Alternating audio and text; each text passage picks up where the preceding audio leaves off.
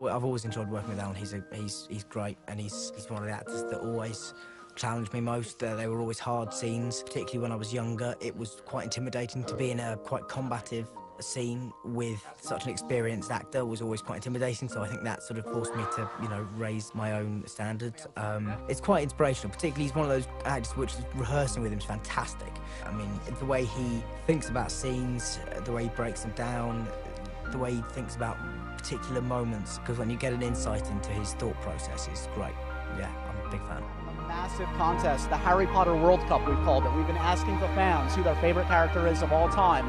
And this is it. Seven and a half million votes have been counted.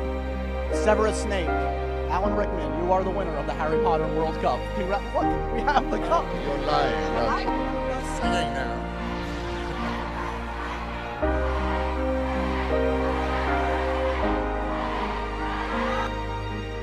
Things like courage and determination and loyalty and love, actually.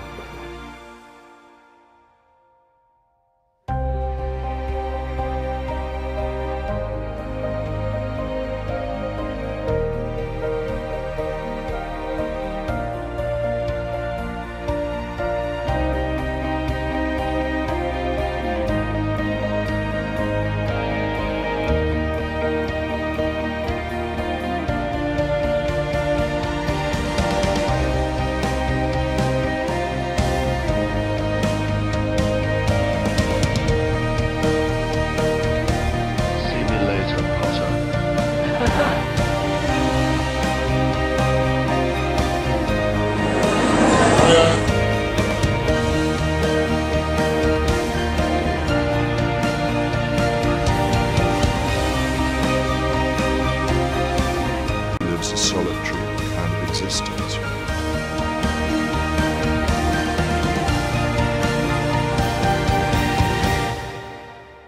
Bye bye, Sim.